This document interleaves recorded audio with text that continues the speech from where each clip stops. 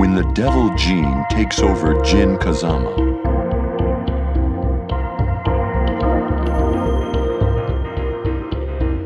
Jinpachi was able to escape captivity as Hon Maru fell.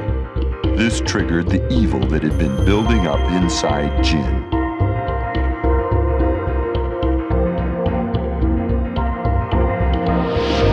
Two months later, evil has utterly consumed Jin's mind, deadly force has awakened.